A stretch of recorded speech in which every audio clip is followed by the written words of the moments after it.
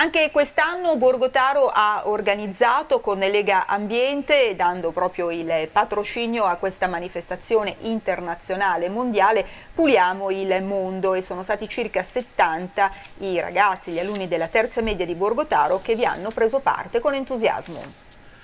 Sono stati circa 70 gli alunni della terza media di Borgotaro che hanno partecipato alla manifestazione Puliamo il mondo promossa da Lega Ambiente con il patrocinio dell'amministrazione comunale. Un'iniziativa che è andata oltre la semplice raccolta di rifiuti abbandonati e che per i ragazzi è stata un assommarsi di diverse esperienze. Innanzitutto i ragazzi hanno potuto fin dalla prima mattina essere insieme, conoscere i volontari e anche questa è una, una, perla educativa che i ragazzi possono vedere sul campo, persone di tutte le età che si prestano per accompagnarli durante i percorsi, poi hanno potuto vedere i percorsi, hanno potuto vedere di, con i loro occhi la situazione di Borgottario in varie parti della, della, del paese. Il nostro compito come Guardia Ecologica è di aiutare i ragazzi a comprendere eh, tutto ciò che ci circonda, specialmente eh, l'ambiente.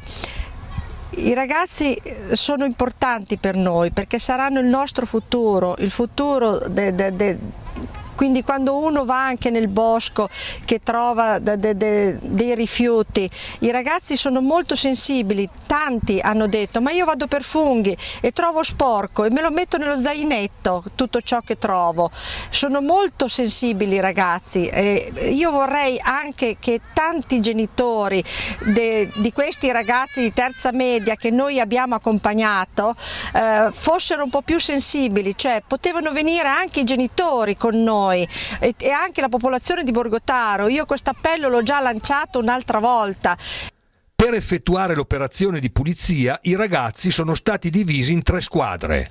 Due hanno ripulito la pista ciclopedonale sulla sinistra del Taro, una monte e l'altra valle della passerella dei Vigili del Fuoco, mentre la terza squadra ha raccolto i rifiuti abbandonati nel parco Battaglione Tolmezzo e lungo la scarpata della superstrada tra la baita degli Alpini e il campo sportivo Bruno Capitelli, per terminare ripulendo il cortile attorno all'edificio scolastico di Piazzale Pedrini Pedrini Beccarelli.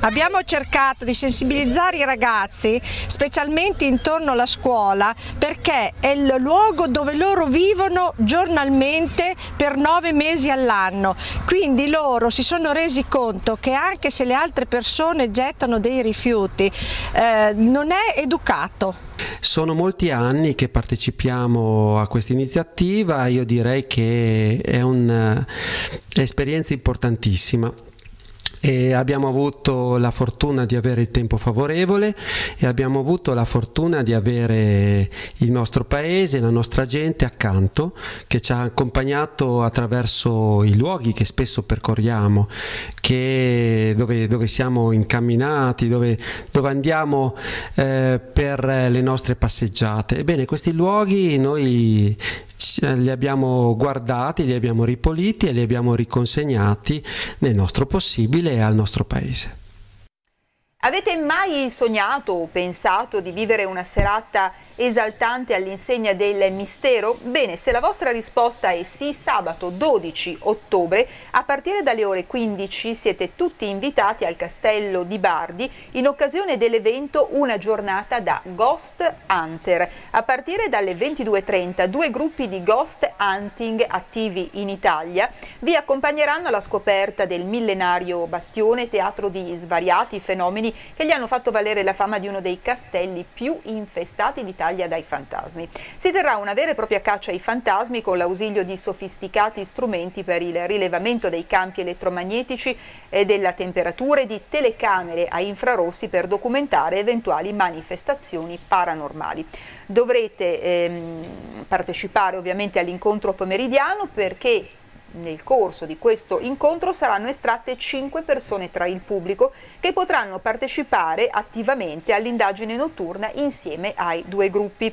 Il programma della giornata prevede l'inizio alle 15 con la presentazione al pubblico dei gruppi GIAP di Roma e GHP di Puglia, l'introduzione alla storia del castello, all'attività dei Ghost Hunters e alla strumentazione utilizzata, alle 16 estrazione dei 5 partecipanti alle indagini notturne e dalle 22.30 fino alle 3 del mattino svolgimento dell'indagine nei locali del castello.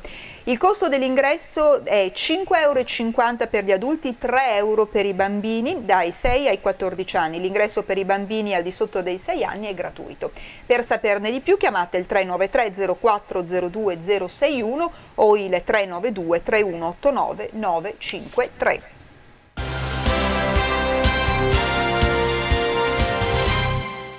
Ed eccoci alla pagina sportiva, ci occupiamo del tradizionale torneo Baduini Giraud che scatta domani. Continua il cammino di avvicinamento all'inizio ufficiale del campionato di Serie B per la nuova Valtarese 2000 che vedrà impegnata la formazione del presidente Del Nevo subito in trasferta sabato 13 ottobre in quel di Bologna contro la Fortitudo Rosa per preparare al meglio la nuova stagione, ma soprattutto per ricordare due importanti dirigenti della società, domani e domenica 5 e 6 ottobre andrà in scena l'ormai classico torneo Baduini Giraud. Nella giornata di domani, a partire dalle 19, si sfideranno nella prima semifinale Pallacanestro Lodi e la formazione Under 19 del Basket Parma, mentre nella seconda gara, in programma alle 21, la Valtarese 2000 del coach della Pina sarà opposta al cavezzo dell'amico Giancarlo Tampellini. Domenica pomeriggio a partire dalle 16.30 la finale per il terzo posto e a seguire alle 18.30 la gara che assegnerà il titolo. Il coach della Pina in questa prima parte di stagione ha dovuto fare a meno di Cecilia Camisa, alle prese con un fastidioso problema al piede, ma potrà schierare due nuovi arrivi, ovvero Enrica Bini, di ritorno a casa dopo sette anni trascorsi alla Magic Parma, e Tina Bogojevic, direttamente dal settore giovanile del basket Parma. Per gli sportivi borgotaresi queste due giornate saranno il momento giusto per vedere all'opera la nuova formazione che si appresterà ad iniziare il campionato di Serie B regionale. Nella gara di domani il coach affiancherà alle ormai storiche presenze di Silvia Schianchi e Carola D'Ambros le varie giovani che vorranno subito mettersi in mostra davanti al proprio pubblico. Tutta la dirigenza si attende un pubblico grande, degno dell'occasione sia per vedere un buon weekend di pallacanestro femminile ma soprattutto per ricordare due persone che hanno dato molto al bellissimo sport valtarese.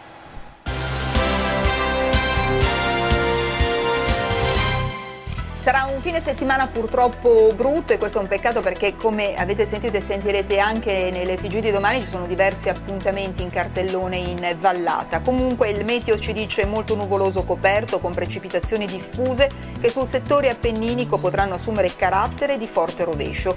In serata attenuazione dei fenomeni. Le temperature minime sono in discesa, valori tra 7 e 10 gradi, in discesa anche le massime, valori tra 13 e 16 gradi, i venti saranno moderati.